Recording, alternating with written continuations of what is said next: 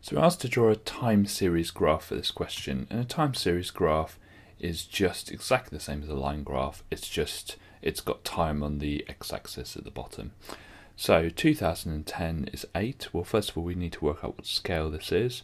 So it seems to me to be going down in twos. Let's just check that.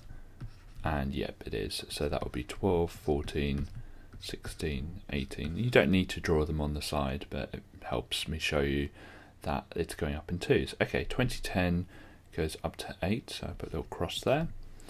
Uh, 2011 goes up to 14. 2012 goes up to 17, which is halfway between 16 and 18. And 2013 goes up to 7, which is halfway between 6 and 8. And then I join those up with straight lines.